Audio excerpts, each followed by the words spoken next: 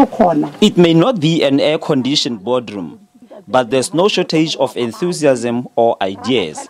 An all women team determined to develop their businesses. Adopt a Woman has 800,000 members in the Northwest.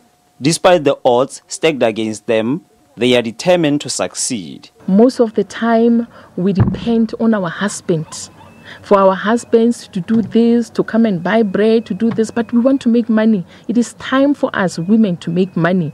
You know why we decided to group ourselves?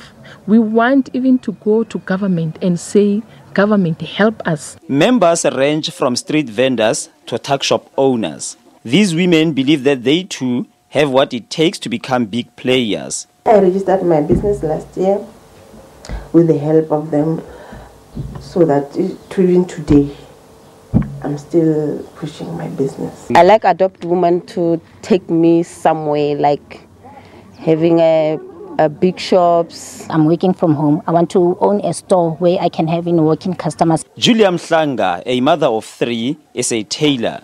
She started her business 22 years ago. Mhlanga educated her children using the income from her small business.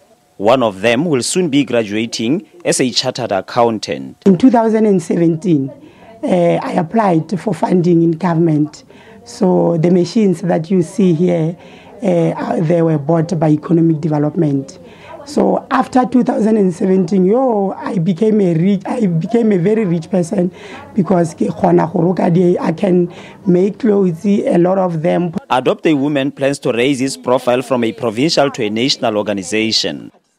Itumeleng Khajane, SABC News, Mahikeng.